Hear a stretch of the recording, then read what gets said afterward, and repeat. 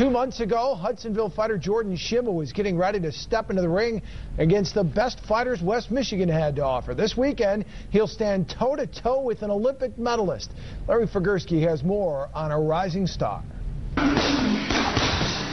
Beautiful. During the past 11 years, Hudsonville native Jordan Shimmell has stepped into the ring representing his family, his city, and his state. My goals have changed now to, you know, worlds, international. Uh, so it's going to be a little more tough. Beginning Sunday, for the first time, he'll do so representing his country. Tell me what that means to you. Oh, that's it's a preview possibly to 2012. You know, uh, that's that's my hope and dream to represent the USA in 2012 London Olympics. And his first test in the international ring will be as tough as it gets. Shimmell will face reigning Olympic silver medalist and Italian national heavyweight champion Clemente Russo in Italy. The guy that fought in 2008 Olympics, and he's he medaled. So uh, being one of the top three guys in the world, uh, it's going to be a tough fight right off the bat. But that's going to be a great test for myself. Prove if you know I'm ready for it and what I need to do, what I need to change and work on. Get ready for the rest of the world. And as tough as the international competition may be, there's still everyone you know in the U.S. That's we have a few years yet until the Olympics, so they're all gunning for it yet.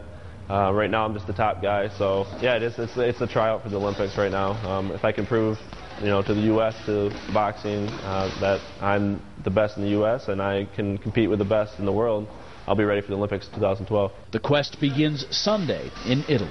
In Grand Rapids, Larry Figurski, 24 Hour News 8.